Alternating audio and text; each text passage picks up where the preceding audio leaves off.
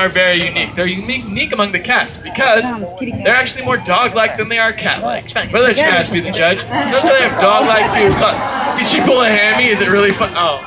Yeah, I thought it'd be funny. Guys, we're She all has spots on it. You know, circle of See, life the, kind the of cape thing. has a spot, like cheetah oh, Yeah. spots. Guys, I said dog-like though. Yeah, dog-like, not an actual dog. Oh, you know what? I think this this is shenanigans of one Sir Francis Bacon. But you know what? Joke's on him. Everyone, don't feel cheated. Yeah, yeah. I'm told you guys. Get some. little bit there. CJ here is an Anatolian Shepherd, a guard dog. She's very important to cheetah conservation. She's the kind of dog we give to farmers to guard livestock from predators like cheetahs. Big dog. All it takes is a couple good barks to scare those cheetahs away from that livestock.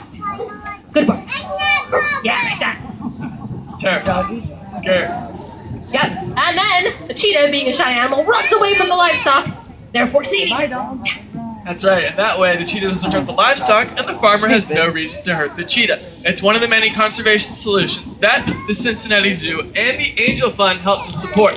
So by you guys coming out here today, you're helping to save cheetahs in the wild. Speaking of cheetahs, you guys getting tired of these jokes? Yeah, that's unfortunate because I got so many more. But why don't we bring Francis back out here? Yeah. What do you have to say for yourself, sir? Well, I must say you gave a grand effort with your cats, despite my plan to ruin your show with the dog decoy. I guess I turned out to be a real cheater myself. Oh, that's all right, Francis. We forgive you. But hey, you know what? Jokes are getting kind of old there. How about putting that battery back, sir?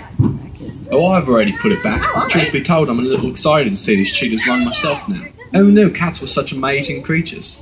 Well, glad to hear we turned you into a cat fan, Francis. Yeah, well done. Bet it's just in time too, because I think our cheetahs are raring and ready to go. So, while our trainers are setting up the yard, I'm gonna tell you guys about what we're doing here today. You see that battery that Francis stole that we've been looking for? That's a car battery, and that's what's powering our lure system. So essentially, our cheetahs are gonna be racing cars today.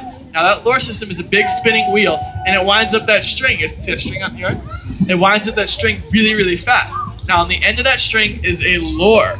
Now we kept running out of child volunteers, so we had to go get something sturdier. We went out and got a fluffy dog toy. It's great because it's about the same size as something they hunt in the wild, and they can really sink their teeth into it without completely destroying it. Now, it's gonna start in the back corner over there, race down along the back, around that mound, and end up right here in front of you guys. It's gonna make for some great photo opportunities if you guys are quick. 'cause I'm gonna be honest, our cheetahs are probably quicker. Now, you're in for a treat today. You're gonna see two cheetah runs, two. And you're actually going to see a boy cheetah and a girl cheetah run. And afterwards, you guys got to let me know which one was faster because they are always arguing about which gender is faster. So you're going to help me settle that dispute. Now, up first is going to be our youngest cheetah, Savannah. Ladies first. Here we go. The fastest thing on four legs, Savannah, the African cheetah.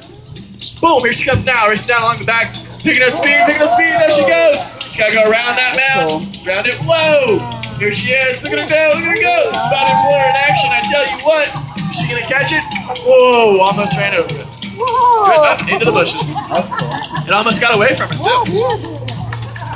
Great job, Savannah. That was great. But guys, get your cameras ready because this is the best part of the show. We do have to get that lure back. So, uh, who's jumping in the bushes to wrestle it out of her? No? Alicia's doing it? This would be great, guys. Watch it. No? I'm just kidding. You see, our cats are trained animals, but they're still wild animals. And that lure is their prey. They worked really, really hard to catch. So they don't want to just give it up for So nothing. So we convince our cheetahs to trade that lure for something he that? equally as good. And the only thing cheetahs like to trade for is Hurry up, food. cheetah. They're hurry up, always cheetah. hungry. They have that high metabolism, helps them go hurry real up, fast. Now, if you guys can see way out Hurry up, cheetah. those pans are silver. We treat our animals so well here. They eat off the silver platters. Thank you, Linda, for showing that off. Savannah White, Now, so while our trainers are convincing her to give up that lure and taking her back to set up for the next cheetah run,